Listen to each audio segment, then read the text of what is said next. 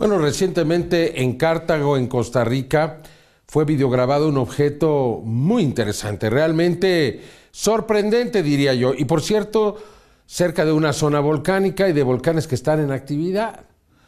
Y nos dice el testigo que esto es frecuente en la zona. El video realmente llama la atención. Le presento la información con Carlos Clemente. Las siguientes imágenes fueron obtenidas por Mario Antonio Miranda en la localidad de Cartago, en Costa Rica. Ese día 18 de enero del 2012, al encontrarse laborando normalmente, por medio de una cámara de bolsillo, fue capaz de obtener esta grabación de un objeto volador no identificado. Me encontraba trabajando este, en Cartago, habíamos eh, como unas 30 personas alrededor, ellos estaban viendo hacia hacia el cielo y entonces, en ese momento, este, uno de los trabajadores dice, mire lo que está en el cielo, todos voltearon a ver.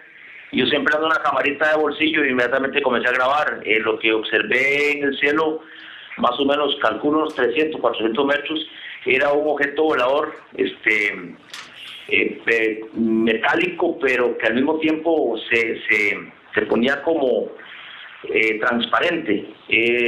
no dilató mucho, más o menos unos de 10 a 15 minutos más o menos en, el espacio. El, el, aparato aparecía, desaparecía. La impresión que me llevé pues fue de susto, ¿verdad?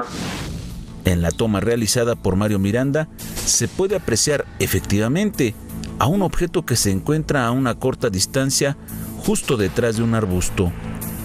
Este se mueve rápidamente de izquierda a derecha, como si estuviera oscilando de un punto a otro. De manera peculiar, el misterioso artefacto aparece y desaparece en las imágenes, algo que nos llama la atención. Sí, él, era una composición extraña, porque él, se materializaba metálico y al mismo tiempo, eh, en, cuestión de segundos, lo, que era metálico ya no era metálico, sino que era como estado gaseoso, entonces desaparecía a nivel de atmósfera aparecía y aparecía, tenía la voluntad, el poder, digamos, de aparecer y desaparecer, de desmaterializarse y materializarse. No tenía ventanillas, no tenía luces, no, no hacía ni un solo sonido, era un aparato extraño. Este, en la realidad, pues, ya hay bastante susto al observarlo, ¿verdad? El avistamiento impactó notablemente a los testigos quienes no daban crédito a lo que estaban viendo esa mañana. Afortunadamente, Mario Antonio Miranda contaba con esta cámara de bolsillo para poder registrar este avistamiento importante. Sí, los muchachos este, estaban asustados, como todo, ¿verdad? Uno se asusta de lo desconocido. Eh, sin embargo, hace unos años ya yo había fotografiado un ovni en la zona de, de Cóbano, en Punta Arenas. Entonces ya pues era más familiar. Además que en la zona donde yo estaba ese día es frecuente ver cosas voladoras, extrañas. También encontramos una condición preponderante para la presencia de estos objetos en el área de Costa Rica, debido precisamente a la actividad volcánica que presenta, ya que posee 112 volcanes, cinco de los cuales están activos hoy en día, debido a la subducción de la placa de Cocos en el Caribe, ya que este país se encuentra ubicado dentro del cinturón de fuego del Pacífico.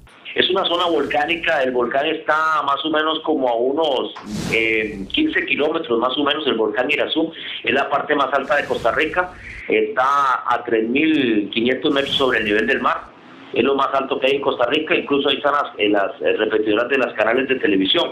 En ese punto, eh, al lado atrás está el volcán Turrialba, donde ya han habido avistamientos, y en la parte donde estaba eh, de Villolopni, está entre el volcán Irazú y el Cerro de la Muerte. Entonces es una zona muy, muy frecuente para ver estos tipos de objetos. Debido a esta situación, hay una gran cantidad de avistamientos ovni en esta zona de nuestro mundo.